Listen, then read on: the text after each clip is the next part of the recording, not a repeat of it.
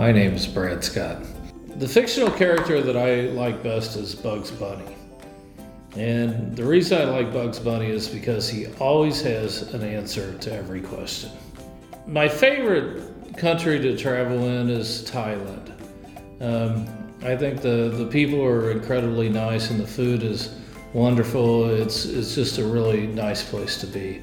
One thing that's really nice about Webster since I've been here is uh, the ability to uh, be creative and do new things and, and travel some and um, uh, being involved with online was something that perhaps I wouldn't have happened if I had been at a different institution.